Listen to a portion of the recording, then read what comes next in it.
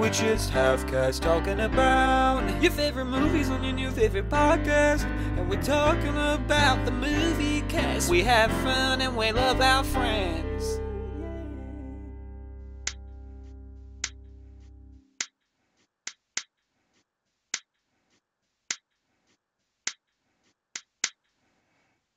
Hello, welcome to the second episode of the Halfcast Moviecast podcast. My name's Benny. I am a film person. Hi, I'm Julius. I am half Spanish, full Samoan.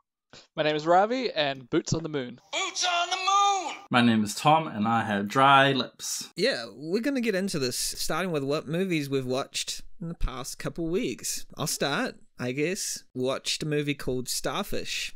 Starfish is like this little indie weird film. It's like a sci-fi film, uh, on a super low budget, and um, yeah, it felt like kind of empty, but it was like it was like an allegory for like uh, grief or something, but it was really like pretentious and and dumb.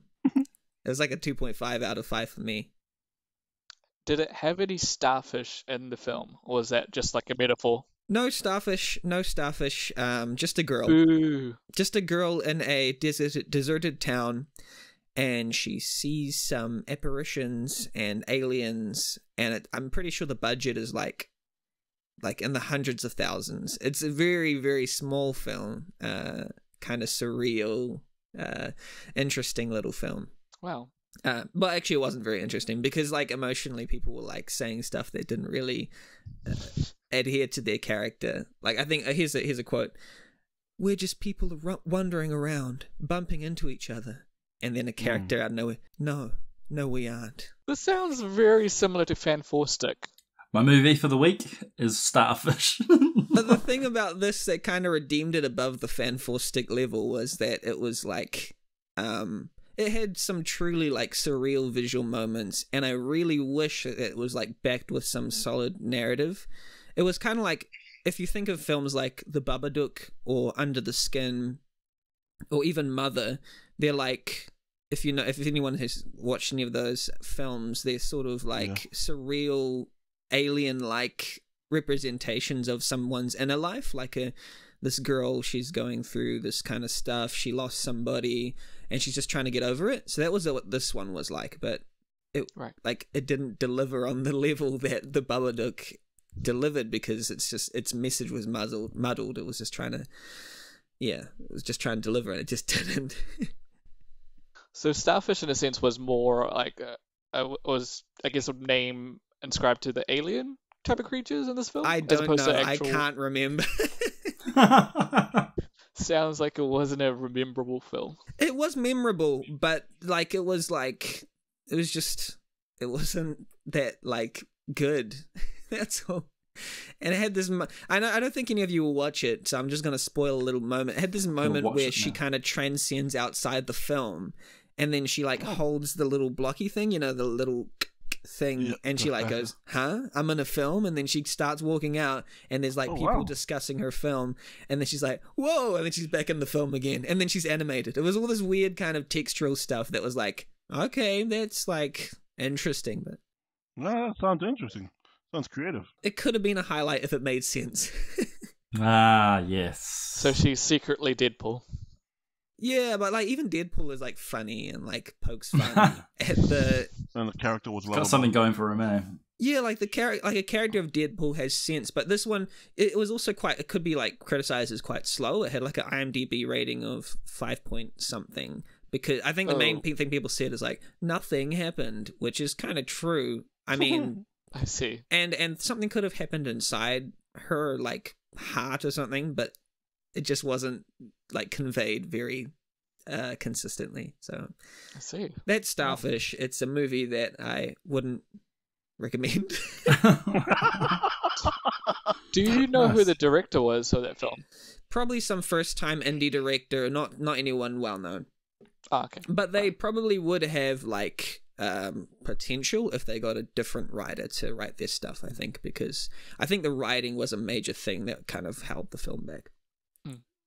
I'm just asking on curiosity because I know a lot of these indie directors can get picked up for like big blockbusters. Like we we see the case with Marvel and like these big studios who take these low budget indie directors that make movies that aren't that great. So you never know that my that guy might end up or lady might end up in a big blockbuster potentially. Some, that could someday. absolutely definitely happen um, with this director. Like the thing was, it was like Monsters or something. If you've seen Monsters, because the director of Monsters was like it was like a low budget film about monsters, and it had really good effects and stuff. But it was like super low budget, but they managed to get it over the line and have like good effects. Um, Right. And then they got him to do Rogue One, so it, it could definitely happen. Wow. Um, so yeah, Love that was that the film. director of Rogue One. Gareth Edwards. Yeah, yeah. Um, True. Um, I've been watching um not that much because I don't have that much time, but I've been watching. I watched a movie called Becky. Um, I started The Five Bloods. Oosh. Finished watching What We Do in the Shadows. Finished Defending Jacob. Finished. Uh, should I carry on? Because I Wow. didn't have that much time, so I just I didn't watch that much. You're doing quite a bit in your 10 minutes, Julius. I mean, you've watched way more I than only I. got I only got ten minutes, so you know I gotta I have to only watch a few things. Right. And then there were like I got three other movies that I've seen during the last weeks. Oh so my yeah, goodness. not that much, you know. Nice. The highlights was definitely what we do in the shadows. Uh, se- season finale was just this past week. It is quite possibly one of my favorite seasons of comedy I've seen. It's every episode is incredible. Uh, the writing is amazing. The world building is great. Character characters every every character has their own story arc throughout the whole season. It's just it's amazingly written. Shout outs to my homeboy Jermaine. Wait, so did you say it, it wasn't like your your your favorite season or was? No, it's, uh, it's probably up there as one of my favorites comedy seasons in TV history. It, it'll probably it'll probably be up there with um Shortland Street. You know those good comedy seasons. Um, Yeah, Coronation gotcha. Street. Uh, what- what's the other Mm, good mm, mm. comedy? Those are Um, very good. Like they they Prison they got Prison Break. There's a new season of Prison Break coming out, eh? Yeah, it's a, it's a good comedy, bro. You should watch it. It's just a bit. Yeah, yeah, it's quite funny. Did they just like keep breaking out of prison every season or something? Like they get, they break out a season and then they go into prison. Oh, okay. uh there's always a bigger prison. They get, they always get caught. They must be bad criminals. So what we do in the shadows um was that um was the season finale probably the best one that you've seen so far in terms of all three seasons or all two seasons. There's only two. Se- yeah, there's two seasons. It's it's definitely better than the first one. Um, a lot of what I read on Twitter is a lot of people. uh, It's it really is adored. I've been watching it during the you know the pandemic, and I think it's amazing. It's I, I can't wait for Emmy season because if it doesn't win anything, I'm I'm quitting Hollywood and I'm going to build a farm. You're quitting your high-paying position in Hollywood as one of the And producers. I'm gonna go raise some ducks and name them after every character from what we do in the shadows, Yeah. and then kill them and eat them. This oh, is a good plan that you have going on here. I'll bring all of you guys over for dinners. Barbecue duck. Also, just another thing I recommend. The movie that I've seen is Becky. It's um, I went in there not knowing anything about it. It stars Kevin James, you know that comedian. Um, I don't forgot what the girl's name is. Um, Becky. Yep, her, Lulu Becky. Yep, Wilson. Becky. Sounds about right. Um, Joe Yeah. McHale, Joe McHale, you know that comedian, that tall, musty guy. It is quite like there was a sequence in that film where I like I was, I was trying to catch my breath. Like for forty five seconds, I was like, oh my, oh my Josh. It, it was Mm. because I didn't know what it was, and I, I didn't see the trailer, and uh, I wasn't intending to watch it, and I just saw it on you know on the illegal website, and so I went and watched it, and then now I'm like, man, people need to watch this just to see how crazy it is. I feel like I've heard about that movie, but like not knowing what it was too much about. So it, it is a comedy, would you say, with Kevin James? no, or- I think it's a thriller action drama. Wow, for Kevin James extremely movie. violent. Yeah, it is. Oh my gosh, it's violent. Oh my gosh. Oh. It is kind of the big. It seems like the big gimmick about this movie is that uh, Kevin James is playing a serious role uh, as a like you know in a horror film. I didn't even know it was him on the screen when I pressed play on the illegal website I watched that on. The picture of him, it, it was a big guy with a beard, and I thought, oh, I've never seen this actor before. So I pressed play, and then I realized it was him, and I was like, oh, this is gonna suck. then I watched it, and I was like, oh, okay.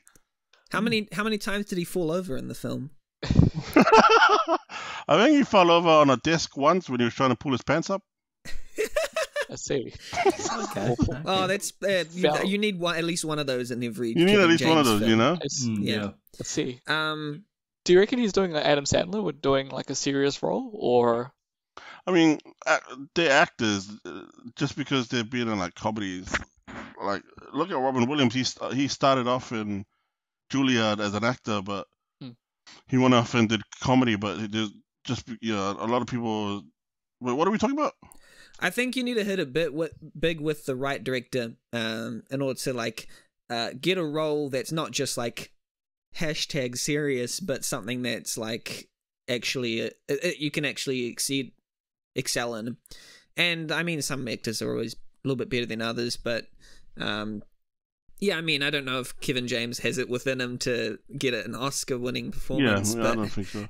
but like um Yeah. for the case with Adam Sandler, I feel like he's always had it in him. Uh, he just always produced. He was always starring in films that were just like glorified holidays.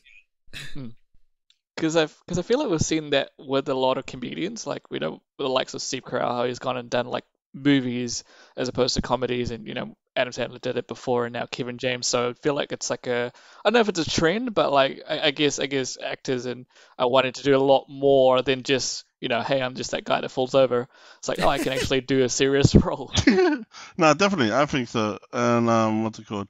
And sometimes it doesn't pay off. I mean, look at some of Jim Carrey's serious films.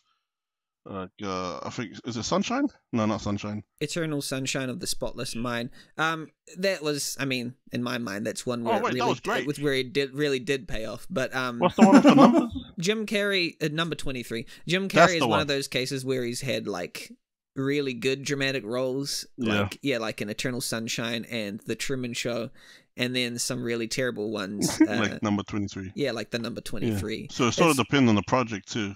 Yeah. It's a film where he sees the number 23 and everything. Um, and it might sound funny and, I mean, like, like an actual, Sounds like a comedy. it might sound creative in concept, but it's just uh, executed Yeah, really badly. just- Um, I actually wanted to talk about um, The Five Bloods. Uh, maybe we should Uh, talk about that next week. I think we should talk about that next week Is because that, oh, okay. Is that your? Oh, sorry, my bad. I was Is going to a movie? I was going to bring it up that it's something that we should Yeah. watch, but we'll I'll, I'll, Yeah. I'll exercise a discuss little that bit. that's okay. I'll bring it up as something we should watch. Yeah, sure, sure, sure. I'll exercise a little bit of discretion about that one. Uh, but yes, um, I, I've just seen that all over Letterboxd, but we'll we'll, we'll kind of uh, s- transition from that. Yeah. Is that a movie or is that a um? Yeah, Spike It is, yeah. new Talk movie on. Netflix. Ah! Oh, Um, true. But uh, yeah, uh, Ravi. Your Black Panther's in it. Mm, True. We'll, talk, oh, we'll talk about it later. Yes. Old I mate see, Chadwick. Michael Jordan. Sick. Oh, what? Ravi, Ravi, what, do, what have you been watching? Um, so I've been watching a show on Netflix. Uh, it came out quite recently. I think it's maybe a week or two weeks um, since it released. Uh, Space Force, uh, co-created by Greg Daniels, who did The Office as well as um, Steve Carell. And um, yeah, no, this, this this was my first show after finishing The Office. Kind of like an Office vibe show, but I think it's completely different. Um, I'm not sure if you guys have seen it. I think maybe Julius. It's a seen a good few way to like. It's a good Yeah, way I've- for I watched half. It's a good way for Ravi to kind of uh, de-escalate from the the, the Yeah. sadness of the it's office Yeah. finale that he had to uh, abandon his show. So Space Force is like a what do you call it? Like the the the kind of uh, the the the what's the opposite of a gateway drug? Yeah, that's exactly what I was thinking. Yeah, I was like, I don't know, rehab maybe. Like What? yeah, something to like ease you out of the uh, Yeah. It's a experience. gateway that is back into office. the real world. Sorry, from from Office Heaven. You know? and you can yeah. sprinkle a little bit of upload on there as well. Um, but yeah, no, the um, Space Force is um, it's not The Office for those that, those that are keen to watch it. Um, I mean, it's created by the people that did The Office, and you know, Steve Carell's back for the first time with comedy and a TV show. But um, it's uh, I liked it. I mean, I I didn't love it. Um, but I feel like there should be a second season, and I heard this with a lot of people because it's not getting the best reviews from the critics, and the fans are kind of like living it. But um, people were saying that normally with Greg Daniels, um, his first season for all his shows aren't that great. So they're like, hey, you know, because I heard stories about The Office how they were like fighting to keep that show on because Right. it wasn't getting great reviews and critics weren't loving it. So I, I feel like it might be the same situation with Space Force. But I mean, it's a good it's a good show. It's just not great. Um, so what do you think, Julius? I mean, you've been halfway through it now. Yeah, I I think we talked about it in our last one. I, I did, if I was being honest, I did go in with trepidations only because when it comes to the way I see funny, mundane comedy stuff like this, mockumentaries, it, I think it's always better when it's low budget and when the cast is unknown. Look what happened with Flight of the Conchords when they did their most previous show and they tried to fill out big stadiums when they're better off in small, intimate spaces, and that's just the way they perform it. when they did it in massive stadiums. It just felt they couldn't fill that space, and I that was kind of the trepidation I had with Space Force. But if I'm being honest, I I enjoy like I found myself laughing with so much. I think the interactions between some of the characters are some of the best. John Malkovich's character and Steve Carell, I think that's the highlight for me. Like if Yeah. there was a show with just them two, just polar opposites, but the way they, they communicate and interact, it's just funny to me. It's the, it's like how I interact with my with my friends, Other personalities, eh? yeah, other personalities. But um, yeah, I'll, I'll just leave it there. But yeah, no, um, Space Force. Would would you guys be considering to watch it? I guess uh, Tom and Benny. Is that something that you guys? yeah, I'd, I'd probably watch it. Eh? Um, I watched The Office ages ago, so I didn't I didn't feel the pull so quickly to jump on it, and because of what I'm I'm already like watching stuff at the moment. But yeah, I hope what you say is true, and like the show just gets like better and better as it goes on, because that'd be really cool, and I I want another show like that. Space Force is probably low on my list. At the moment, I'm going through um, The Leftovers, and I'm probably going to watch The Last Dance soon. So, All right. Oh my gosh. has anyone who has who's watched The Last Dance? I'm putting my hand up if no one can see me on Zoom. Oh, I we can't. don't no. believe I have. It is um oh sorry I won't I won't spoil it for you. But it's about um soccer. Yeah, uh, it's about Michael Michael Jordan, the soccer man, the soccer player. Uh, Michael B. Jordan. Michael Okay. B. Jordan, the soccer player for the um, Wellington Phoenix, um, his rise to glory, Oh come on guys. Is to- this actually about how, the uh, Phoenix? to how the Wellington Phoenix won the Olympics, um, the worldwide Olympics uh, in in Spain. It, it follows um Michael Jordan in his last season with the Bulls and all the drama that happened leading up to it and and where they go after. Wow. Well, after all this time, I mean, the, the thing that doesn't make sense to me is why they let the Bulls out of the zoo rampage into the city, the Chicago Bulls. Mm. And that's Yeah. always kind of confused me. Why every time they have a game, they'll let all the Bulls in the zoo Yep. just rampage through the city. The Chicago Bulls Yeah. just just destroying. But anyway, I'm so um, confused. Did they actually let the Bulls out, or are we talking metaphorical fans? No, they did. They did. yeah, yeah, they did it once. Historical. Oh wow. Yeah.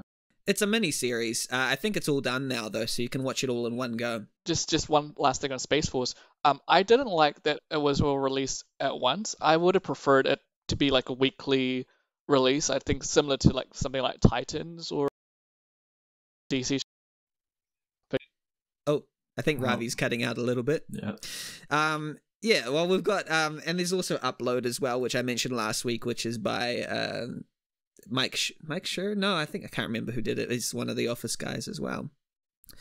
Um, Tom, what have you been watching? Sorry, Oh, Ravi's been man. cutting out. Oh, there's Ravi's back. Kind Is of. he back? It's a ghost of Ravi. We'll go ahead without him anyway. Yeah. I think he. It looks So, like um, he's blankly staring into the distance. He's like What happened? deep in thought. Oh, I His hope that Zoom part's being chat is kind of good. frozen for the audio listeners. Um, sorry, Ravi, you might have to uh. Hey, what rejoin or something. Um, I've been watching Vikings still. I finished season five. That's a lot of effort. Yeah, I'm I'm all the way up to season five. So there's half of season six to go, um, and then the other half I will be up to date and watching it in time with everybody, so I can pretend I was here the whole time. You know, kind of like how I did when I watched like the first four seasons of Game of Thrones, like all in one go. Well, not one Mm. go because it's a lot of time. Yep. Yeah. Uh, Vikings, not not bad. I, Can I ask you a sincere question? Yes, Did you cry? I cried with season five, episode ten. Okay. More so than season four, 16? I didn't cry for a good reason. I didn't like it. It was What? my low light of the entire series. We need to discuss this uh, yeah, yeah. after this, brother. But imagine like they build this massive fight up for like so long, and then they're just like, yeah, we're gonna have this fight, and then they have the fight, and they do like two seconds of fight, and they're like, now let's cut to two minutes of story behind what these people were doing this morning, and you do the two minutes, and then they like go back to the fight, another two seconds of fighting, like whoa, whoa, whoa. Let's go back and watch someone else for two minutes this morning. and I was like, oh my gosh. Yeah, but they just did that for the whole fight, the whole fight, and I was like, yeah, Game of Thrones was the last TV series I really got into, and their their fights are, are great. And I was thinking this would be like the Battle of the Bastards in this one, Battle of the Bastards. If you haven't seen it, go watch it. You can just watch it on its own. It's a great episode, and it's No, like don't you mean the uh, Battle of All Cops? yep, that is what it is. Whoa. Oh, wow. And I guess we know Wow. where our podcast stands. yeah, I just wanted to see a fight, but ah, no fight. It sounds like a Batman v Superman. How everyone was expecting this fight of the century, and then um, all you got was two hours of Superman being sad and Batman killing everyone. I was Uh, expecting a good, good. movie. Fun A fact. good one, not a great one. No, a good one. That movie should have went straight to audio. Straight to audio, yes. Yeah, that I movie never- should have went straight to audio. I never watched it because I heard like people talk about it for like a couple of weeks after Oh. it came out, and I was like, I don't want to see that. I want to ruin my Batman and ruin my Superman. I'll just, I'll just pretend they're still great. Anything else you watch apart from Vikings? No, actually, it took a lot of time. There's 20 episodes in four and season four and five, and yeah, so that's that's like 10 hours each. Mm. But I've got a life. I've still got a life. Sure. Yeah, Yeah, yeah. We've all, yeah, got, we've all got wide and varied lives with a bunch of stuff going on. yeah. I do. I went outside this week. I think uh, we're done with our movie section, right? Yeah, Yeah. We're going to move on to some news articles that I kind of pulled up from Reddit. Um, new Netflix movie, The Last Days of American Crime, lands infamous 0% rating on Rotten Tomatoes. we should watch that this week. Yeah, we should watch How much that. is it on? How much is the rating? 0%. On Oh. Rotten Tomatoes. Well, like, you could see that by the trailer. that is bad. what what is that movie or show about? Is It's about never a bank robber who joins to commit like the last final. Oh, Um, So one. So yeah, oh, well, bye. from the trailer I watched, it's just this criminal who joined, or this bank robber who joined these people for this historical like heist, and that's all it, it got to me. And I just remember thinking, I've seen that before. Don't need to watch it again. Do we know if anyone features in it that's quite big, or is it just like some random actor? Edgar Ramirez. I only know him from um, from uh, Narcos. Not Oh, wow. Oh, I liked Narcos. I need to watch that one. Um, next news headline Spider Man Into the Spider Verse sequel production underway ahead of 2022 release. Yes. Very Yes. exciting. Yeah. Very exciting. I loved the first one. We need It was one great. Who's distributing that? Marvel or Sony? Sony, I believe. Sony uh, owns that baby. Um, so, all right, okay. and I believe that they're doing, they're planning on doing some spin-off TV shows, um, because Sony owns like the the rights to animated TV shows, I believe, or something like that. So maybe we could get more from the set, like the like the small, like not the small characters, but maybe more from the characters in it. Um, yeah, so that's exciting. I, I'm really looking forward to it. Mm. Um, specific to our New Zealand experience, this one go this one cuts nice nicely. Um, James Cameron goes into 14 day New Zealand government supervised quarantine before Avatar 2 restarts filming and is still confident of meeting the December 2021 release date. Mm. Yep, that's great. Wow. Yeah, good stuff.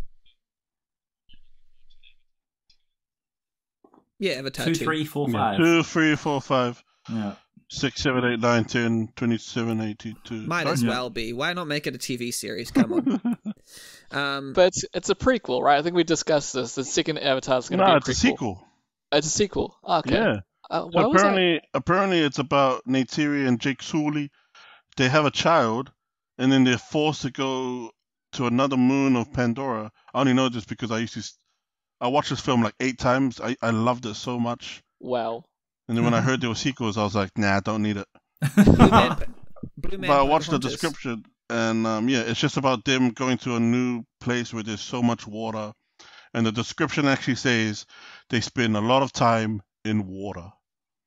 Oh. Benny, you put up like a photo in a in a group chat about them like being in some kind of water setting, Yeah. like behind the scenes. That's right. I look ugly. Ass. Sonic the Hedgehog sequel officially in the works at Paramount. Director Jeff Fowler and writer Pat, Pat Casey returning. I still gotta watch the the first one. I've mate. seen I it. heard was It was surprisingly fun. Yeah, that's what I've heard.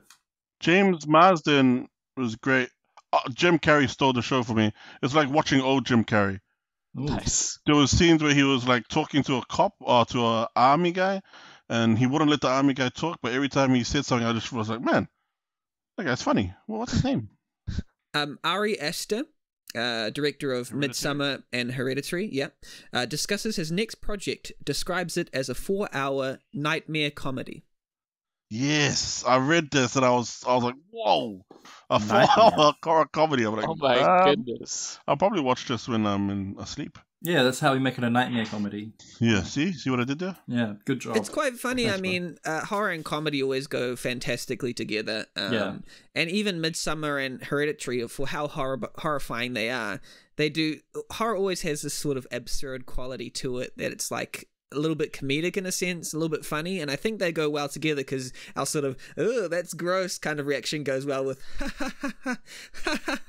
Or like, "That's "Ha, ha, ha, I'm scared. Yeah, exactly, exactly. So they go really well together. Um, As long as as long as he's putting Florence Pugh back in there, I'm I'm in the front. I'm in the front of the row. uh, director Taika Waititi of What We Do in the Shadows and Thor Ragnarok awarded New Oh, I think I've Zealand's heard of Order guy. of Merit for his contributions to film and television. Well deserving. Yeah, absolutely. I It's good because uh, he he only accepted it because his peers nominated him for it. wow. Yeah, and in, in true um, over humble New New Zealand style. Like he wouldn't have put his name forward, but because everyone else did, he was like, might as well. Yeah. okay then. John Malkovich initially thought being John Malkovich should have been being Tom Cruise. Oh. wow. I see. I see. I mean, Sorry, that it caught would have been a guard. totally interesting Jeez and Louise. weird headline. That's what he said. Apparently, he said he thought it should have been being Tom Cruise. Wait, him playing At Tom first. Cruise or like Tom Cruise in, in a movie where it's called Being Tom Cruise? Tom Cruise in the movie as he he, he basically said when probably if, when it was pitched to him as being John Malkovich, he's like, I I thought it should have been being Tom Cruise instead, and Tom Cruise Right. as, as Yeah, it's the a movie called Being John Malkovich, starring John Malkovich. I've seen And, the uh, poster for it. Everyone's like got a cutout image of John Yeah, Malkovich's it face. Yeah, it's about a puppeteer. So, oh Um, man, you should watch it. Gee, it's pretty, it's pretty weird. It came out in the like late '90s, right? Or was it Yeah, early 99, I think. Yeah. 99, 98. I really enjoyed the film, obviously because it's written by one of my favorite writers, Charlie Kaufman. Uh, he's Yeah, he's an directed by Spike? writer. Directed by Spike Jonze, yeah. Uh, Yeah. He's he's really awesome, and he did his own uh, Charlie Kaufman esque film in Her uh, when he directed yes, and written Her. right.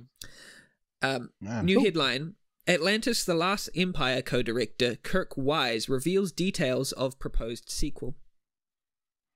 Is that the is that the sequels to the first two animated Atlantises? Is there two animated Atlantises? Yeah, I remember the one, the first one with Milo, and then the second one was Milo's kid with the Atlantean lady. Is that one of those Lion King one and a half type? yeah? I mean, yeah, that's right. So the first one, oh, right. Yeah. Atlantis There number one, and then Atlantis 1.5. the one that nobody really knows about, but it- Yeah. it just went straight to I DVD forgot what or it's something. called. It was the first one was Lost Empire, and the second one he returned for some reason, but I don't know. Oh, is the first one Lost, Lost Empire? Oh, okay, the last. Um, and uh, new headline: The Room. Tommy Wiseau says Netflix turned down the opportunity to stream his film. Oh wow! Wow. Damn. Netflix doesn't want Tommy Wiseau.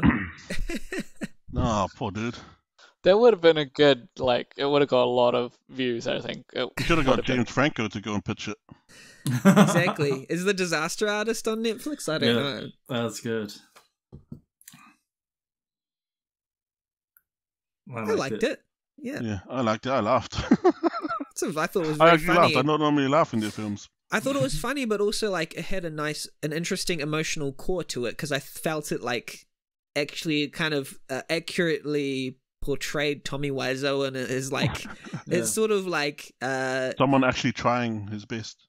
Yeah Right. yeah it had a kind of if you've ever seen or heard of the film Ed Wood by Tim Burton it had that sort Right. of uh quality yes. of a of a guy just trying his best to make this Yeah. film and he's actually got a massive ambition but he just has so many blind spots and it just turns out in some hilarious like mistreating Yeah. cr- crew It's great. members and Yeah, I just saw it. It is on Netflix, so go check it out if you're listening. Yeah. And it's Or got both the. Franco. Yeah, It's got both the Franco brothers, right? Dave great, and eh? James. yeah, yeah Dave it's and good. Harry. it's real good yeah. Harry and William. Who's Harry? Harry and, and William. Yeah. Franco. Oh, sorry. And our last headline California says film and TV production can resume as early as June 12th, which oh is. my gosh. Awesome. That's Can we great. talk about this? That's in the Yesterday. past. That's great. Can we talk about this? Yeah, sure. Yes, go for it. So, um, oh well, not not really much to talk about. That's great. So- other than the fact, Can we talk about this? other though? than the fact that um, the first movie to probably re- be released globally is Tenet, That's great. and that yeah, and that Nolan's risk paid off. When everyone was telling him to move from July 17th, Hmm. the man stayed there, and like it's just crazy to think that our first movie back in theaters is Tenet, which could possibly be one of the best movies ever. Yeah, I'm beyond building expectations. Bring it. Like, but you know, for any other movie, it could just be like rational. But this is Nolan, guys. Come Yeah. on. Are Like, we this is- absolutely sure that um, US cinemas are going to be open by the time that Tenet comes out? Yeah, AM, AMC theaters are expected to be fully opened globally just in time for Tenet. Um, Deadline broke the news. Um, they're reporting AMC is trying to do it as fast as they can because they suffered 2.2 billion loss during Wow. the shutdown, Mm. and so you know they're projecting an opening weekend box office of around 40 to 60 million. It probably won't hit the 1 billion mark only because I mean, like, if it's the first movie to come out in the world, I mean, like, we've got something similar. I mean, I don't know if it's as big uh, when it comes to internationally, but like New Zealand's like the first um, country to do rugby, officially, like a competition, and they they're getting like like massive crowds. So I feel like if it's the first film ever like to come out globally, it's going to get like massive, like you Mm. know, um, box office money because everyone's going to want to see the first movie after lockdown. So Yeah. I I read a thread on Twitter, and on New Zealand film Twitter, um, if that's a thing, it's like a little circle of New Zealand. Uh, that there was an opinion saying that because of like the worldwide kind of uh, reluctance to release films at this time, but New Zealand is sort of out of the whole uh, lockdown thing at the moment. This could be the perfect time to create a bubble of New Zealand film of like creating like for cinemas to release and promote New Zealand films because true. other films aren't really being released right now so yeah. you might as well like use this time to Yeah. promote and and screen New Zealand films and create some sort of like creative bubble like to promote New Zealand film and help it out a little Yeah. bit because that'd be great. it needs The the only help. thing is, a know? lot of studios are already booking out so many dates already. Wonder Mm. Woman is in August. Dune is in mid-December. So a lot of the tentpole, you know, the big studio tentpole films that are coming out. I think a lot of them are being. Thing it's just the indie films that haven't been released. So I, I, I think that's a great idea. The thing about those Absolutely. tentpole films that confuses me is that I, I always get confused by the fact that they always want to screen it inside a tent with a big pole in the middle. yeah. It's so like Yeah. the pole gets in the way when you're trying to view Yeah, the screen. like there's right in the middle, tent eh? pole right in the middle. behavior. Yeah. Why I like why are tentpole films still a thing? The tent pole is right in the middle. It blocks your view of like one third can't of see. like. I think if somebody knew how to speak Polish, they can just ask him. Yeah, well, there's Oh. also a pole there. There's also Yeah. a Polish man, a pole. who Yeah, you the can poll has many names like Martha. Um, Magic Mike. yeah, like like names that we we, we don't want to say because they ruin film. Yeah. Oh yeah. Nah. Yeah. Sorry, can I add one more news, uh, Benny? One news, go. Comic Con at home. Um, Comic Con is setting free virtual at home edition from Wednesday 22nd of July through to Sunday July 26th. You can watch whatever panel or um what's it called or whatever whatever gaming or stuff they have on. Mm. It will be all available. Badges will be available to print. Wow. So basically, all of San Diego Comic Con events will be free to anyone to join online. Amazing. Can we still cosplay? You can if you want, but I Mm, finally get to technically tick something off my bucket list. Is this just like a, a series of Zoom meetings? Yeah. Sorry? Is this just like a series of Zoom meetings? Mhm. Yeah. Um, do we know if any of the big studios are going to be present, or is it just going to be Warner like, Brothers has Warner Brothers has a um has a day. I Nice. think the major ones Warner Brothers is wanting to do a lot of DC stuff, awesome? but if they if they get M- the MCU, if they get Disney, then I think they're Yes. fighting for Disney. I don't think Disney's confirmed yet, but Yeah, that'll be massive if they get Disney. absolutely. Yeah, because you get things like Lucasfilms. Oh, we, we Oh, actually man. don't have much to like you know to talk about at the moment, but you Apart know, from Mandalorian season two, yes. Oh, sorry, I forgot about that. I forgot Nothing about that. going yes. on. Nothing at all. nothing going on, nothing important. I totally forgot about that. My bad. But that's That's massive, man. That that's is massive. your bad. Yeah, yeah. We could all Um, come together at, at Tom's house or Benny's house and watch it. That'll be great. Actually, I have a whole nice. level at my house that is mine now, so let's do it. We could Oh, we yeah, could all dress up as well. we can do Comic Con cosplay. Yeah. Oh my gosh, my dream's coming true. Uh, our movie this week was chosen. This week, this fortnight was chosen by Ravi. What is our movie? Drum roll, please. I know we don't actually have a drum to roll with. Um, but this movie, um, I first heard of it uh, from Collider Video. Shout out to Collider Video. They did this thing a couple years ago called it. Um, they called it the top 50 comical superhero movies. Sorry, top 50 superhero movies of all time. They did like a ranking system amongst their like like personalities and stuff like that. But they did an honorable mentions list, and um, some of these movies I didn't hear, hear of.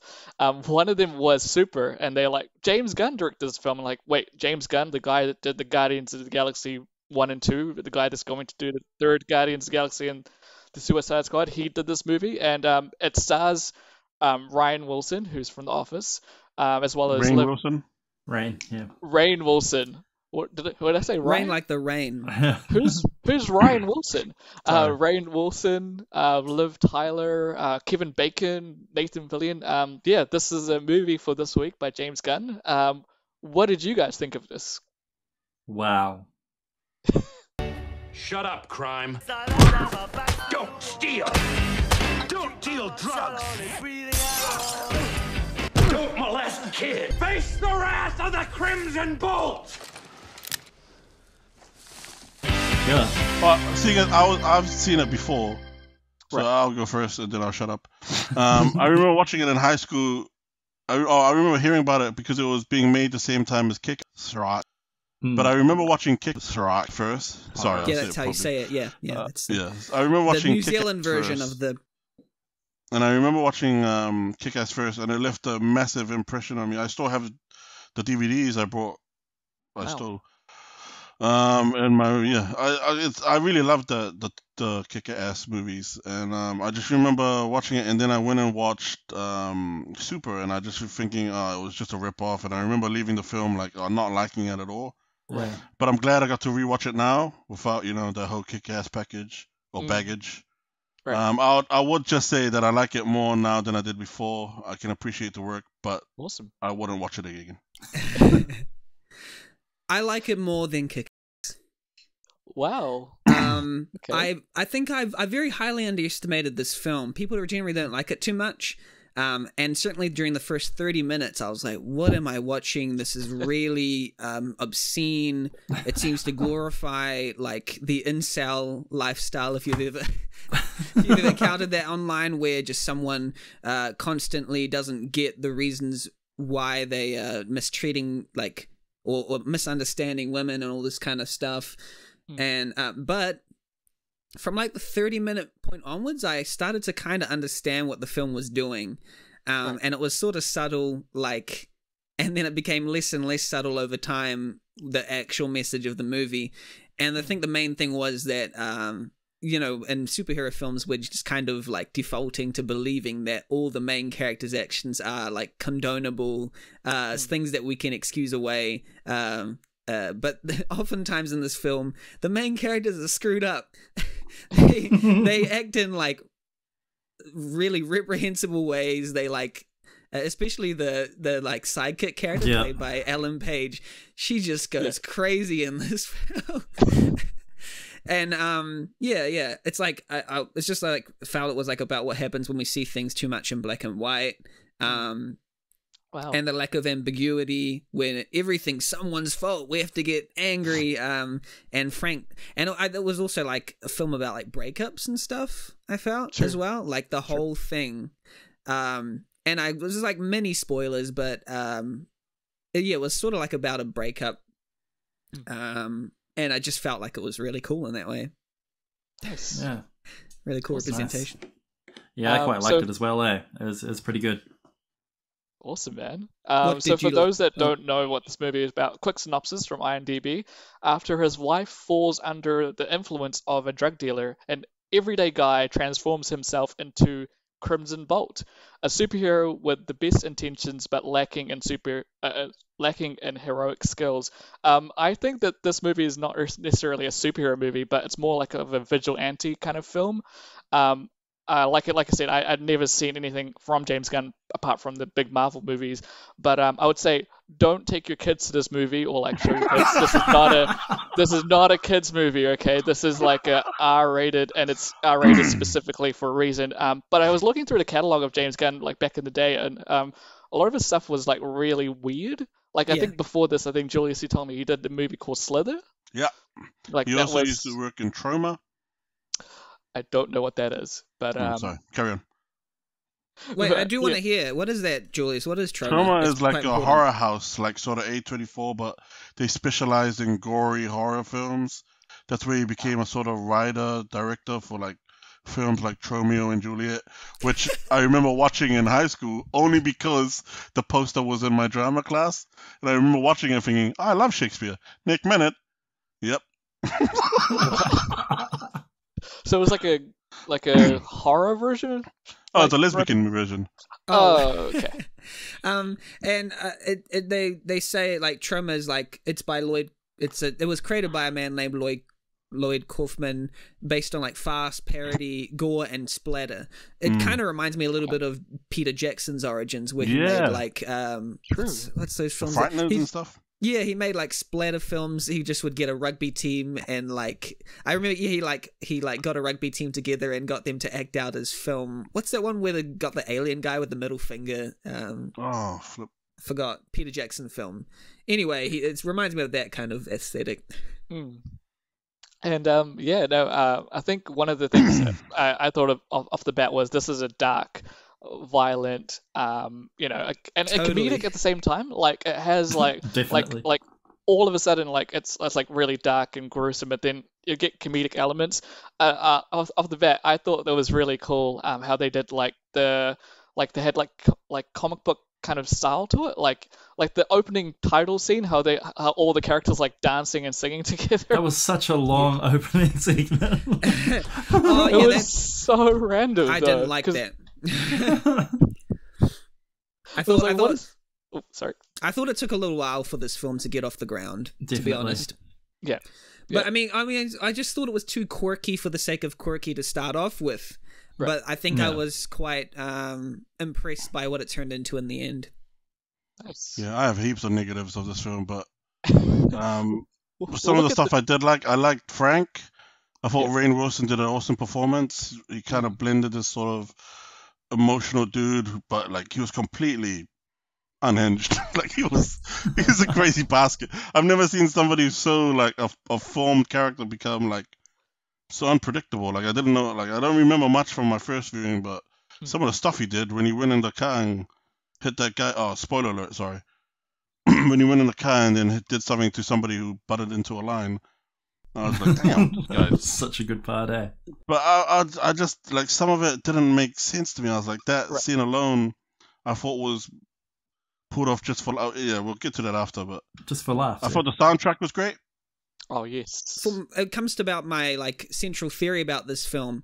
Who's to say that if you were an average person who becomes a superhero, that you'll do the good thing? That was Hmm. my thing that I brought out of it. Like, Yeah. It kind of comes to the the center of like being a displaced like superhero fantasy where there's actual real life superheroes like existing. So I'm just gonna reset my audio. Yeah, I just don't know. I just there was so many questions. I was like, that just Yeah, I don't know. Maybe because what's his face? Who directed this again? James, James Gunn. Gunn.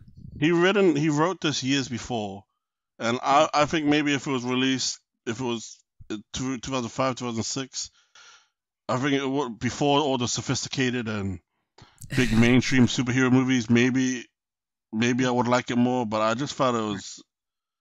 I don't know, inconsistent. I, just, I don't know. Oh, yeah. what do you guys think? I mean, I think it was like a. It seems like a critique of superhero like fantasies more than Yeah. anything. For me, that's why I liked it.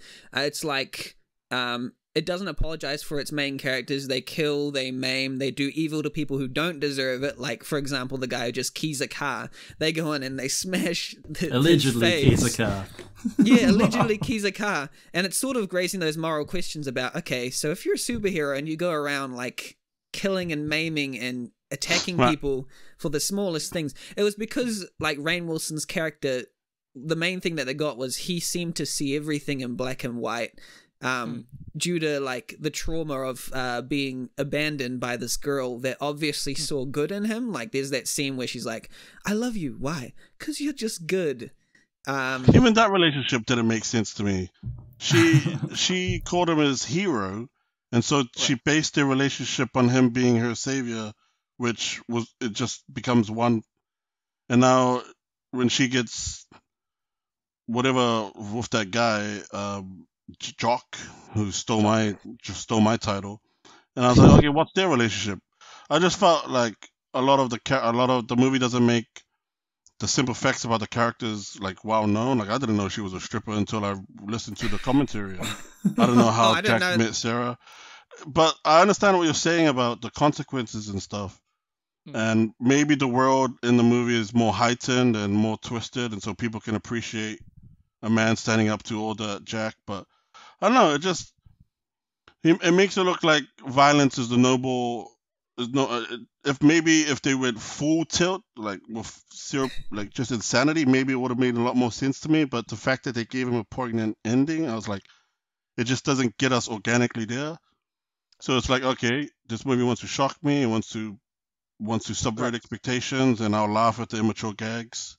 Mhm. You know, it wants to t- it wants to tell an alright story, but and then it comes to the ending, and I was like, oh, that okay. I think the thing about the ending, the ending is quite unexpected. Like I, I felt like it was not your usual ending because the guy doesn't get the girl and um he ends up crying and observing them from afar. But I saw the whole thing as a sort of like allegory for breaking up and letting go. And Mm. that was like the the ending is actually the conceit of like the entire thing is that um when you break up with someone or when someone breaks up with you, you'll start with like the denial and then you lose logic and you start to just see things in black and white. Either something is good or bad, and then you have to Right. rage, rage against it, rage against the machine. And even when he starts, you know, he saves he saves her, he saves her from his from her life. But Yeah. I don't even think that is But does exactly that forgive his exactly actions? painted. Like, what's what were the consequences for his actions for for that? I, That's the thing. I don't think um, it's painted as a good or bad thing. In fact, it's kind of like the violence in this film is is like ambig- ambiguous and not really painted as a good or a bad. In fact, like the characters, the main characters throughout, I thought that the film sort of portrayed them in a negative lens rather than a positive one. They kind of viewed them as a little bit like really misguided like the, he'd base his whole sort of view on evil on on the little phenomena that he'd see like he'd see a glowing Yeah. face in the Uh, like that whole, the and then that demon whole thing. connection to his faith. I was like, uh, I understand. I, I like, I like your point. Like, it makes a lot, a lot more sense that the superhero idea came to Frank through Mm. his connection with faith, and I like how you know that informed that sort of black and white viewpoint. Mm. When you know people do bad things because you know devil's influence, and Right. that's why his wife was taken. You know, for Frank, it's, but yeah, uh, yeah. because that whole spiritual component it was unclear sometimes whether it was real or whether Fully it was unclear. imagined Yeah, I, I, I Um, don't know if it was. I, it was fully unclear. And then when the TV show came on, that whole Christian TV show where it showed it's a kids TV show where it showed a a guy with um nipples and BDSM or whatever. I thought, oh, okay, that's pretty funny. it's sort of i mean that sort of thing was like it was basically it was based on his kind of morality about um he has to be the holy avenger now who dictates right from wrong and punishes people if they do right wrong but he has like the wrong ideas sort of thing and he's sort of deluded in that way. I felt like he, i felt Um, like he was yeah, deluded throughout the entire film. Uh, that was Mm. my idea of it. Like he because he saw i think he saw the faces like like he, he seemed to see glowing faces and stuff on people when they didn't exist and he had sort of a delude the deluded like viewpoint of reality anyway i'm talking too much but No, you- No, that's great. I, I like it because Yeah. for me, like even when um, no, but I thought watching the movie he did have a good moral sense of what was good was bad. When Libby was trying to hit on him, even though he wasn't married, he was like, no, no, no, you know, infidelity. I'm, I'm not. I'm married, homie. Go bake a cake. yeah And then I don't know if we want to talk about that scene, which fully took me out of the film. Oh, Like, because added- who would turn down Ellen Page? Eh? Yeah. But what did it add? Like it added nothing. Like what did that add? I think, well, from the director's point of view, I think it was trying to illustrate. Like, I know we've got our own morals and stuff. Uh, if we've got different viewpoints, if we're Christian or or other religions or atheists, but I think what James Gunn was trying to um, sorry. illustrate was uh, that um, he had a sort of slavish um, kind of de- devotion to his idea of his wife that he still she still loves him and he's going to be with her and and no matter what happens he's going to all that kind of stuff Yeah. um, I I watched. Uh, I listened to the commentary just because because I watched the film beginning of the week, and I, it didn't sit well with me, so I watched the film with the commentary. And James Gunn called it straight up rape. yeah it is he, he- is He Wow. called it rape, and you know it's it's there because it's not okay. And I'm not angry. Gunn's trying to see you know what he can get away with. Mm. I'm Yeah. like if if if it was if it was gonna add something to the film, I would have made more sense. But if I was being honest, I watched it. I was just numb by it. I was- It's not story anymore. It's just an excuse for a director to put something in a film. Right. I felt Um, like it was this like a central point of the film though. That was what I would say about it. Is Really? that yeah, it is about um it was showing how reprehensible Ellen Page's character was and that whatever she wanted she'd kind of get it um and that she's kind of deluded about, you know, crime is out there and crime is real bad and stuff, but um and like violence is okay, but this is uh, violence is not okay. Sorry, I'm getting mixed up, but I think it was just trying to illustrate like the central thing of um his devotion. Yeah, Yeah, I because her, no, I agree. Because her her story is the subplot, and what she's trying to offer to his main story, and he's been so straightforward from that point until that point actually. Mm. So everything that she's tried to as a subplot, trying to add onto his kill this guy, um, let's have intercourse, all that stuff. He's been a straight arrow. He's been, you know, I'm not gonna cheat on my wife who broke up with me. Mm. I agree with what you're saying. Like what she was, um, you know, her character Yeah. was so. Plus, her character was so one note too. Like she didn't make any development. And spoiler alert: when she died, that came out of nowhere. I was like, okay, As the bullet wound? that was yeah. That was so unexpected. that was yeah. real. That was really good physical. Um, uh, uh, what's it called? The when they do the physical effects and stuff. Like the you know the actual the face and stuff Oh, and the, ex- the splatters and everything. You could see that um, James Gunn had a like a history in, Yeah, that's in splatter Yeah. films. And, but um, I, I would say my last point about this before I let Tom and Ravi talk Yeah, uh, um, is that um, yeah. he, um, is that uh, Rainn Wilson's character had to find someone more absurdly deluded than him to see Mm. Right. the error of his Yeah. ways. Right. That was my Yeah. thought about it. Is that he's like the only person he was like confused by uh, uh, this set of morals was her because she was even more deluded about morality than he was and then he had to go Yeah. back and go wait no you don't kill like that blah blah blah when when he's actually enacting these sorts of deeds himself to a lesser extent but still yeah Yeah. so i felt I that was agree. I important wrote, to his yeah, growth I wrote that down too. I agree. Mm. Absolutely. Uh, Tom, did you? Um, yeah, I. Wow, Ravi, it was a nipple one minute in, and I was like, yeah, I know how this movie's going to turn out. This film is For rude. full, Yeah. for full disclosure, Yeah. I did not know that it was going to be that. I, I knew it was an R-rated movie going into it. I mean, like the scenes, like that's the preview that I've seen from Collider was was kind of, you know, it was it was going to be a dark movie. I Yeah. didn't know it was going to be that that kind of extreme in terms of yeah. Yeah, no, yeah, but I I actually I, I quite enjoyed it. Eh? I I felt I thought the movie wasn't taking itself too seriously because there were like little holes and stuff that didn't make sense, and I thought that it was like fine that it just worked that way. Kind of like how like they went and bought some guns, and then they were suddenly good at guns, and he took out like a like a whole gang. Um, and Oh, yeah. yeah, just like little things like that. Like he got shot, and then he carried his wife away somehow with his shot arm. It's like. Yeah, uh, True, there's yeah, just like think of that. random stuff like that. Uh, and so I thought like just like pushing those to the back of the mind. I think that was probably why I didn't take it too serious. I think like the comic book effects kind of helped with that. And I was like, it's it's not a serious movie. Um, Well, even the comic yeah, I book didn't. effects. Yeah, I didn't pick up on the the like uh, serious stuff that you guys had that discussion of just now. So I was like, oh, interesting. I wasn't thinking that deep. I was, I was just sort of like very surface level, liking like random, random dumb stuff that they would do or say, and be like, haha, that's funny. Like, haha, why does she want to kill him? Haha, and I didn't think anything of it. So it was. It's good to hear that.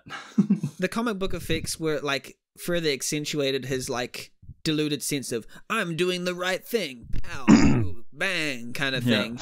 Like it was sort of like sarcastic. I felt like it was hmm. like, like he's a superhero if he's doing that stuff. yeah, yeah. Yeah. But then you're kind of in your mind, you're like, no, you're not. You're not doing the right thing. You know, that's what I felt the whole time. I didn't. Right. I, I I started to like it was at the 30 minute point where it's like I started to realize I'm not supposed to condone these actions, am I? Yeah. Ravi, what did you Um, think? But yeah, no.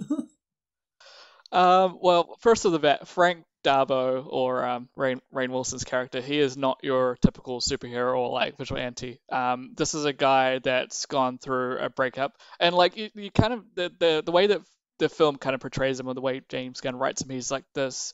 Um, I don't know. He feels like he, if this movie, I, would kind of describe it as like being more like a Netflix kind of Defenders type of film because it's quite d- dark and gory.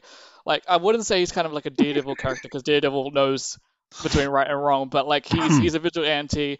Um, he's not your typical hero, and uh, the the things there, there's so many little things I like about this film. Like like when, when he first decides to be the Crimson Bolt, that uh, like he wants to be a superhero. Um, he like he has this little tape recorder scene where he's like. Day night one of fighting crime, and like you don't you don't see that on a normal superhero movie. Like he's like hiding behind the trash, like the like the dumpster, like t- looking for crime to fight. And like the second night, he doesn't find it, and he goes and he hears something. He's like, "Oh!" He comes back. He's like, "Oh, it was just a box moving by the wind." like little And then he things like says- that. yeah. And then he says, "I'll go pick it up after this." Later. Not gonna leave it there. But like, this is not your this is not your typical superhero. Like like he's not even a he's not even like a Peter Parker kind of character who's you know gone through like extreme. This is a guy that's kind of as you guys have seen, he's it's, he's quite attached to um, Liv Tyler's character Sarah. Um, gone through this massive uh like gone through this breakup, but in a sense like he's trying to figure out what to do or how to respond or how to react, and like he kind of gets prompted by the Holy Avenger, who's played by Nathan Fillion, and that little kids. I don't even I don't even know if it's a kids TV show to be honest. It, uh, some of the things that's um that's mentioned in there, as you guys said, it's quite yeah, it's quite adult like. Um, but yeah, he's not your average superhero, and the way he kind of he's I feel like he's trying to feel out of being like a superhero in this whole like or vigilante in this whole film. Like he's trying to figure out what it what is right and wrong. And like as you guys said, he's he's he thinks it's good. What he's doing is good, but in, in a sense, it's not really. He's just he's just seeing like the stereotype people who he thinks might be bad, like the like the guy that he um tries to take take down the first scene, who is like a drug dealer in a sense, but he has like no like no kind of like um like he he has intentions, but he has no kind of practicality. He's like, oh yeah, I'm just gonna jump this, just jump on this guy, and um, then I'll stop crime. And then he figured out, oh no, I actually need a weapon now. Uh, but like I I felt like it was, it was like like you said, Jill, this is kind of like that, um, like the kick behind films, okay, but films where um where he's trying to feel it out as really like like you know um, grounded as opposed to being like this super special effects based film. Um, I liked it and, and and the essence. I also liked the some of the transitions. I, I'm not, I don't know what James Gunn talked about in the commentary, but like you do see like he the, some of the transition shots are just it like has this kind of color red or yellow and then it transitions There Mhm. was What you one that I noticed with the yellow. Yeah. with the yellow. I think there was one with the red as well. He's Okay. yeah. A lot of that um was from what he said on the commentary. His transitions was more like um the darker the transition, the more clouded his um vision was of what he was doing and stuff like that. Ah, the real artiste. The real artiste. you gotta add some artistry in there somewhere. Oh. Right. Sorry. What's interesting is uh, like the things that you said you didn't pick up on, um, and you've like you've seen it twice, but you didn't like pick up that like she was a stripper and stuff like that. Um, I, I don't know. I, I maybe because I wasn't taking it too seriously, like there didn't need to be the explanation to me. So when it was like he was going to her work and it was the drug dealer at the strip club, I was just like, oh yeah, she's a stripper. Uh, yeah, I, I, I didn't like think too deeply about it. Maybe it was just because of how light Do you think, I like, was if- taking the movie. Because Yeah. she was coming out of that. That was the first time we see her with him. yeah. Could it just be one of those like, oh, she probably just went and visited him, or like probably because he because we see him first, Jacques, Yeah. and then we see her with him, and then you're supposed to connect the dots of like, okay, um, he came to see her, she's not here, so she's now with him. But I, like, what I would have wanted was more of the relationship between Sarah and Frank. Right. I don't, I don't think there was much. I'm just thinking of what I would have done to make it a better film. Yeah, Right. it had little parts of the relationship in like the drawings, and That like was in cool. like the, the was cool. tiny flashbacks. Right. Like, Yeah. I did feel what, what what I got from it was that um, I think they were trying to sell the idea that the relationship between Frank and Sarah was like an illusion. Like Mm. the reason why Frank did all these things for Sarah, he was misguided in his whole attempt to try and save Sarah because Mhm. um there like he doesn't have a relationship with him, her anymore. It doesn't Right. it's not there. Like there's no poignant kind of you're the one for me moments with her because Right. she's she's not the one for him sort of thing. Right. So it's just like The he's going, was- I need to save I Sarah. I need to save Sarah to the point where Yeah. it's like everything that's happening around you like doesn't matter because of this Right. fake idea. I need to get my relationship back when there wasn't anything there to begin with. Yeah. And it kind And- of like reflected. Oh, sorry. You can No, no, you go, brother. I kind of reflected on the character of Frank Darbo because he, like, like I said, he's not like your average superhero. He and like e- even the way he describes himself when he's kind of praying and stuff, he's like, "Look at me, people laugh at me. Why am I this way?" People and like you see that in the flashbacks, like he's not your average guy. And and with Sarah, like he kind of sees that as being his like kind of giving identity to himself in a sense, where like he's like this low life guy. I don't know if low life's the right word, but he's this guy that you know that doesn't really have much going on. He's working in this job that he's doesn't really like, doesn't really have friends. He's just this lonely guy, and so Sarah Mm. was kind of the saving grace in a sense for him. And so now that she's gone, he's like, oh, I need to go back to her, or I need to get her back because that that's she she kind of forms my identity of who I am because she calls him a hero or sees him as this Yeah. special Uh, person. That's why I said last time when she the relationship was built on him. But what we learn later on is that Sarah is a recovering drug addict and or Yes. alcoholic, one of those two. I don't know, Mm. and that she's trying to turn her life around, and that she, you know we know that she saw Frank of her of as her hero. You know, just only because he's a good guy, like and then a, uh, like this weird guy who looks at the world differently than other guys. She Mhm. calls him a good guy. Like he, he is a good guy, sure. But Frank, he's never given the time of day by opposite six, and he's put into this role of a hero, and that's that's not a good foundation to build a long-lasting relationship on. Yeah. But I don't know about you guys. Um, I felt that was the point of it. Yeah. the only time I ever felt that she needed him, or that she's given him this unfair responsibility, was when she was with the sister. When she was fighting for him to be every Yeah. other interaction, she True. was either like pushing him away or right. Yeah. O- obviously, she didn't know she needed the help when she was high and drug addict, but she, oh man, that sounds bad, but she she went to Jacques like Yeah. Oh, okay, that's not. But obviously, Well- she didn't know what Jacques was going to do. Yeah, no, Yeah. she she did that, and I think it was just the uh, underscoring that whole idea that um she was she went of her own volition, and Right. and Rainn the super I mean the Crimson Bolt um invented himself all over this kind of false idea that no she Right. didn't want to go sort of thing. But all this time, she actually she went over. She walked into the car. She she enjoyed Yeah. it, you know. And she Yeah. went. She Mm. wanted to re, and that's kind of underscored by the ending. She want she want she wanted to leave all along. She only stayed Mm. because he Mm. saved her, but she just Yeah. stayed for like a month and went, "Oh, thank you," and then left because Mm. she had already had enough of the relationship by the film's beginning. Yeah, Right. and I think it was it was like kind of key what the sister said. Um, like when that before she like felt the need to um like defend Frank, the sister was telling her that like she's just like got off drugs. Um, maybe don't go into something, don't rush into something so big so quickly. And she's like, no, Right. this is like she's gone from clinging to drugs to clinging to this dude. And I, thought, Yeah. I think that kind of explained like the relationship. And then I think as time goes on, she discovers no, she didn't really want that. Um, that was just her coming off of her drugs. Right. Wow. I do Yeah. kind of want to like address a little elephant, a little elephant in the room with this movie. We all come from church backgrounds. Uh, we kind of met through the Oh, church. this whole discussion.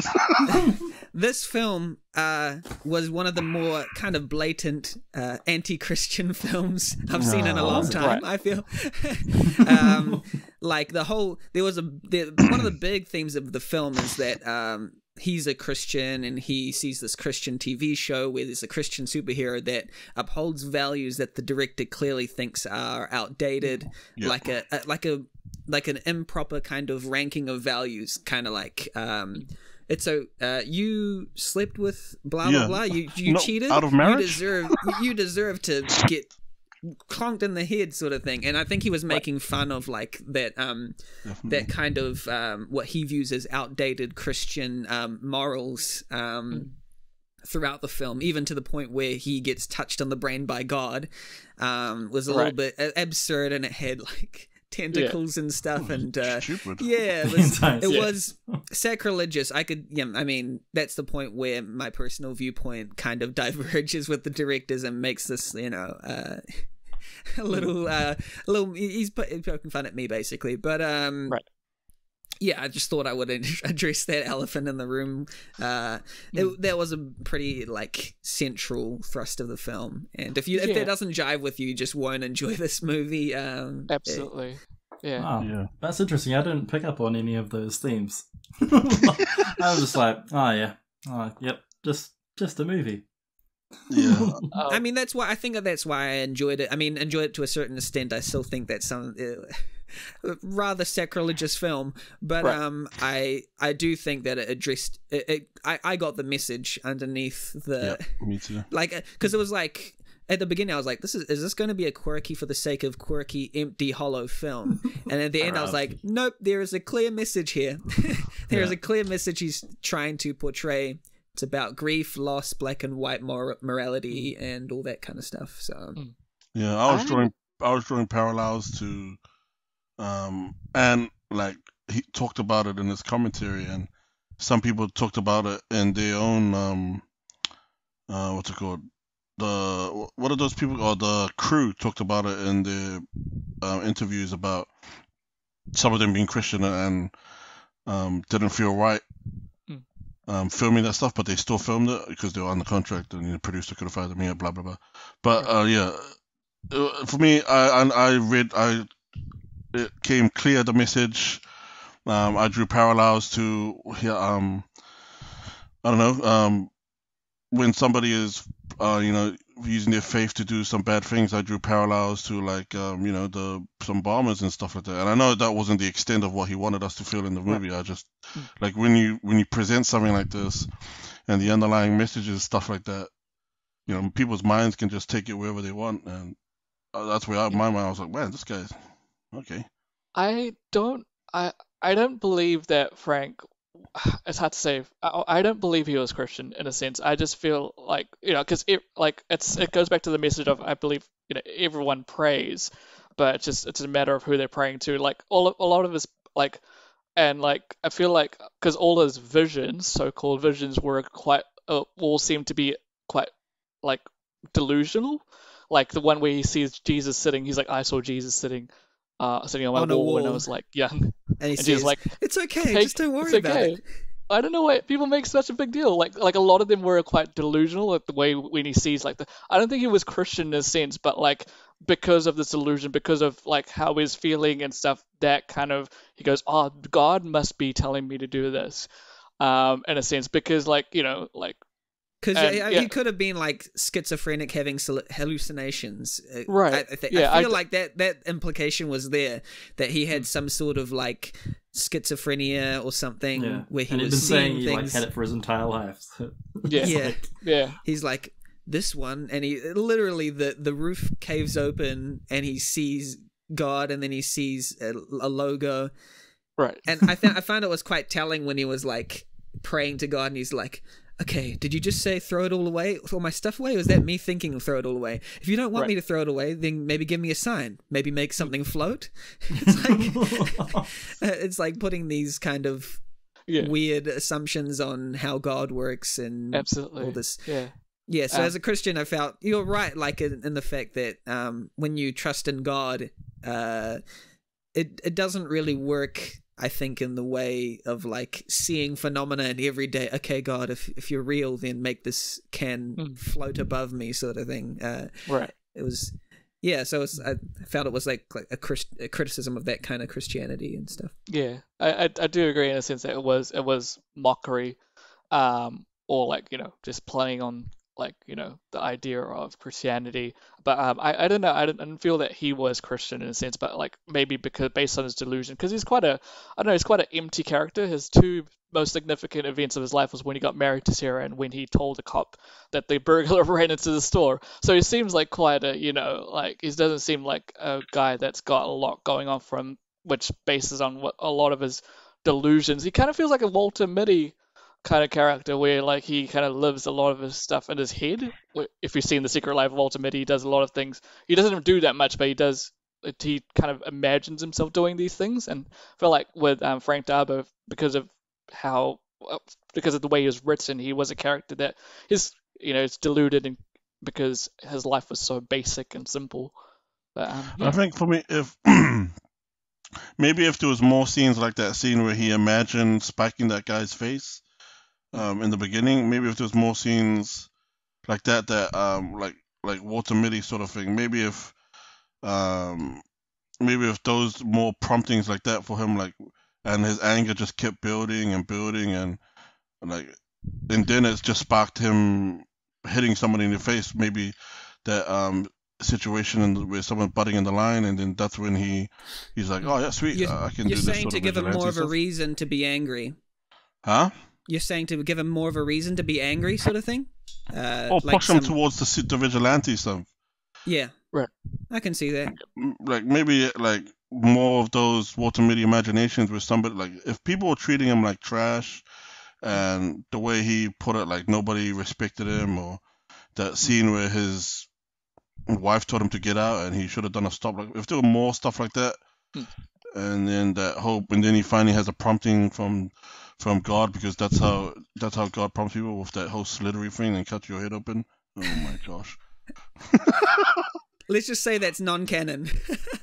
I did Um, watch a lot of the behind the scenes stuff and the practicals for it, like the way they did it. Because obviously it was a low budget film, but like I think they had like a, um, like they used like these metal things, Right. so they could get the visuals of rain. But then they had like a like a I don't know like a dummy where they did the visuals for it.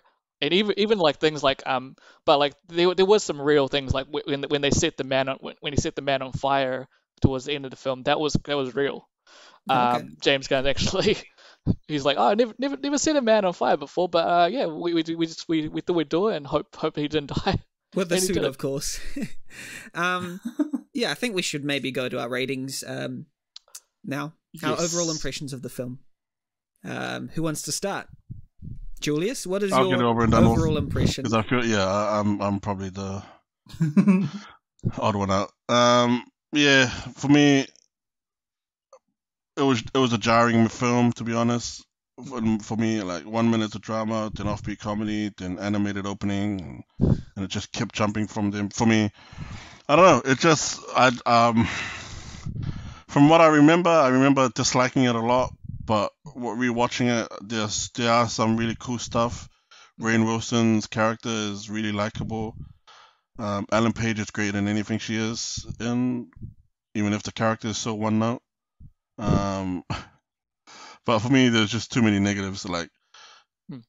I think for me, the um, what will, what will, um, what's the word?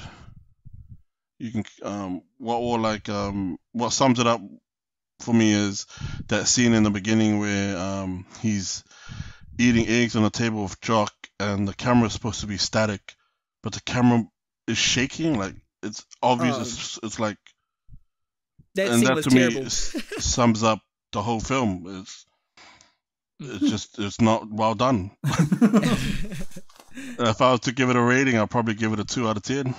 nice, nice. Fair enough. Birds of Prey tier. no, that's one. no, sorry. this one at least had good bits, eh? Tom. Uh, yeah, What's your I, I, I, I enjoyed it for what I took it as, uh, which was like not really a serious movie. Um, I thought it was like there are parts where I'd get a bit bored, uh, and then they'd just senselessly like beat someone up and be like, "It's funny, oh, good times." Why, why'd they smack that dude with a wrench? Oh, and then yeah, and then I'd be like watching it again. Um, yeah, so for me, I, I thought it was I thought it was okay. There's just surprise little like nudity scenes and like dumb stuff, like when he was f- afraid of going to prison and like an actual scene of him and like a fat dude Yep. behind him. And I was Really? like, oh, and there was Blue like a, scenes. yeah, like lol shocks. Just like ah, oh wow, wasn't expecting to see that today, uh, but I have. Thanks, Ravi. Um, Thanks, James Gunn. so yeah, I, Thanks. I don't know. I think I'd give it about about a five. Hmm. Um, so even though I I thought it was funny, it was like yeah, A little bit pointless, you'd say. yeah, yeah. It's it's a good like pointless. Maybe like if I was having a massive meal and wanted some background noise. So- yeah, I, I do that a lot with YouTube. So yeah, it's, it's sort of fit in that tier. But Although some scenes would probably be not very suited for a meal, uh, to be honest. Uh, I couldn't eat with anything, eh? yeah, yeah, yeah. Um, yeah. That's that's yeah. My uh, my thoughts on it. It's fair. Ravi? Um, yeah, so a James Gunn film. Um, it was interesting to see what you know. I I always think it's quite interesting to to watch some of the stuff that the Marvel directors that were that went on to do great things um, did before. I've never had seen a James Gunn movie. Um, like I said, came across this movie um, a while back. Was interested to see um, what James Gunn would do in it. Um, there, yeah, like like I said, there was there was things I liked about it, like like the grounded um, you know, the basis of Frank Darbo's character and him wanting to become a vigilante was quite quite cool. Seeing seeing things that normally you wouldn't get in a in a big blockbuster superhero film, like someone like hiding behind a trash can talking to himself in a recorder that you don't you won't get um, in a big because there's no time for that. Um, but yeah, like um, uh, like like like in what Tom said, I didn't. I've I've only seen it once, like one and a half times, if that counts. Um, and I, whoa, whoa, whoa! I watched it the second time to get some critical critical um, analysis, but yeah, no, um, I, I think it was good. Good. I like I like some of the editing. I like the soundtrack. I like um, you know, Rainn Wilson's character.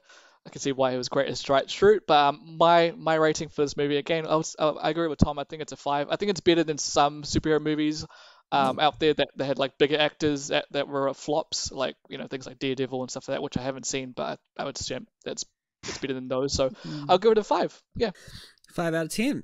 five Oh. out of ten. Wait, Daredevil the movie, right? Daredevil the movie. Okay, yeah. good. Yeah. If you think that Daredevil the movie where Colin Farrell, I think, or Colin Farrell, whoever, says, "Look, Bullseye is better than this movie," then you, then yeah, that, that's just dumb. That Good, film good. is dreadful. Benny. Um. Okay. Super. Uh. I started out this for the first 30 minutes of this thinking it's quirky for the sake of quirky. It has no depth to it. Uh, I don't like Rainn Wilson in this main role. I think it's glorifying some sort of like incel lifestyle, whatever. But then it became clear to me later on that it's sort of like a I've always had this sort of weird feeling with superhero movies where um, how do these arbitrary single people know what's good, what's right, and what's wrong? How do they know who to punish, who to lock up? You know, um, and I thought saw this as sort of like a sociopathy as superhero movie, um, where it's like we uh, and because of his like breakup, because of losing, he was quite selfish in losing his girl, his wife, that he would make up a code of morals just to, to just to kind of justify this endless violence, and then he's joined in by others who kind of you know um, feed into his psyche and encourage him to do bad things. I thought it was quite like an accurate prediction, uh, prediction depiction of um, how someone can just be deluded and um, but then by the end I felt like he'd sort of um, learned over time to let go um, of his um, sense of this is right, this is absolutely right, this is absolutely wrong. Like this whole kind of uh, climax led him to that uh, conclusion. I-, I thought it was really funny, and I mean it was a little bit sacrilegious and a little bit, a little bit um, mocking, but I really enjoyed it, and I felt it was really strong. Um, Wow. It was like a really weird, wacky anti superhero movie, and I haven't really seen a film like it. I'd give this film a 7.5 out of 10. Wow. Nice. Wow, Benny. You should see my face. Wow. It's That is such big. a good movie. It's massive. it was those man. scenes, I reckon. Yeah. But um, Ravi. Oh, and the brutal and the brutal Well- violence when he like whacks somebody with a wrench. It's Ah, just like satisfying. But like, I like I don't think I've seen. Usually, violence is sort of like a plastic, sort of blood bloodless affair. But the the the fact that it was like bloody and almost disturbing, like, kind of made you think, "Yep, this is what happens if you actually become a superhero."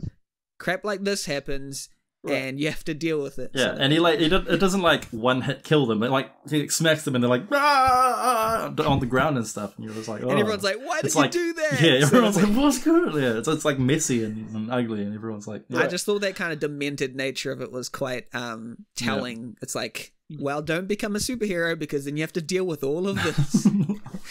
yeah. Um, but yeah, I just want to say thank you guys for watching it. Like I said, I haven't seen it before, but um, yeah, it's good, Good to good to see man. good see what James Gunn did before Guardians of the Galaxy. Can you believe this guy did Guardians of the Galaxy after watching that? Would Would you have chosen this movie still if you'd seen all of it, Ravi? Probably not. My my my next film of James Gunn, if if anything. I mean, he didn't dir- direct it, or uh, but I think he helped with it in a sense. It was his idea was Brightburn. That was going to be my next James Gunn kind of film. I, like I said, he hasn't directed it, but I think he had Alright, input in it. so, no no that hentai would- on that one then. Yeah. I haven't seen it. Um, I, hey, Aw. uh, full, Oh, Oh, sorry. Okay. full disclosure, I didn't. I had not seen the movie before. Uh, uh, don't like I said, you it don't was, have. And it was kind of. I, I like the theme of how, how we've done films like some somewhere like Benny, uh, where he's watched a film that he's never watched before, and that was it was kind of good for me to kind of watch something that's kind of different to what I'm currently watching. So yeah. nice. Yeah. Don't know. No matter how many times you you preface it with, I didn't know, I didn't watch it before I Yeah, before I went into this. you My know, hands are a- clean. We all know your heart. I I could clearly see how James Gunn got fired from Disney after this. He's very What, blue. really? Yeah, he's all his jokes and borderline. Right. Um. So now that we've finished with Super, we're going to go on to our next movie recommendation. Tom, what do you have for us? I believe Oh I already yeah, know. a little hint earlier in the show when I told you guys to shut up. Yeah. uh, this week's movie is The Five Bloods. Whoosh. Duh. Fortnite's movie. Yeah, so we're gonna we're gonna be watching this movie, and Nice. in a fortnight we will come back and talk about it. Um, yeah, And when you say in a fortnight, we're Yeah. going to be watching this movie inside of Fortnite, right? yeah, yeah. We're You're gonna I'm watching it now. Inside server. of the Fortnite the game. Yeah, yeah. There's gonna be a, a screening of this movie. Mhm. Yeah. Yep, yep. Yep. That is Yeah. quite funny how they they premiered the Tenet um, trailer inside know, of right? Fortnite. Apparently that was that similar to Star Wars, how they just had this massive thing appear in, in the game? Or No idea. How did that work? Yeah, Fortnite was doing heaps of stuff. Hey, they've they've done really well for joining with big. I don't think they did a trailer in, studios. start in Fortnite. No, they didn't do a trailer. They like It was they more put skins. lightsabers and stuff in it. In the uh, yeah. I never Oh, actually played they the lightsabers. Thanos. Yeah, Right. I that, have. was, that was fun. Yeah. But They they did like who- audio. Just a side note before we before we turn this off. Um, breaking news: Christopher Nolan, under pressure from Warner Brothers, has pushed back Tenet's release to the 31st Thought of so. July instead Oh. of the 17th. I hate Wow. Warner Brothers now. I thought they were going to push it back further, like way further. Oh, yeah, I was imagining. That's If two they were going to push it back further, they would have pushed it back to replace Wonder Woman in August. Mm. But they wanted to keep Wonder Woman there. So they just put it like one day away from August. Nice. nice. I think Wonder Woman's end of uh, August, so it's got a month Yeah. to. I mean, Endgame got two billion in four weeks, so you know But that's Yeah. Endgame. That's that's in true. game though. That's true. Yeah, My um, parents yeah, went and fell asleep in Endgame. Come on. Yeah. Anyone right. bought tickets. Anyway, sorry, that's just side note. Maybe we can, um, yeah. No, that that's cool. Um, to to round it off, um, we still haven't, as of the recording of this podcast, I still haven't got my act together to edit and release the podcasts. But when we do, we will be taking questions from people that you want answered by us about Nice. film or Mm. our personal lives or anything you. or Julius's personal lives. Anyway, um, uh, Very yeah, personal. that's the end of our show. Uh, anyone want to say any closing thoughts? Well, I had a shower this morning, and I and I, I was checking underneath my. Sorry, Okay, goodbye, everyone. Um, Bye. so- I just See you want to later. talk about this little rash I have in the side Oh, of my. yeah. Sorry, Right. Bye. Okay. Tom, you would like to hear about it, Bye. Tom? Stop the Bye. podcast. Quick, Goodbye. turn it off now. Ah, that's it.